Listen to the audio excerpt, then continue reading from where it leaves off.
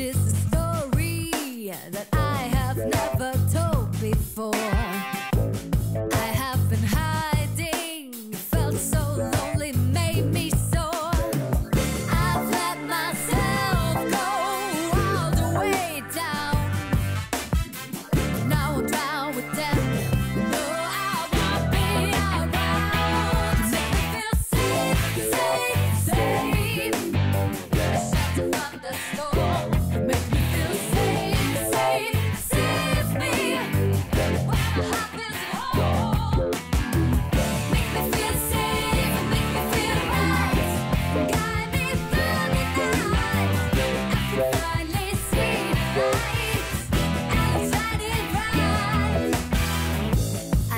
it's my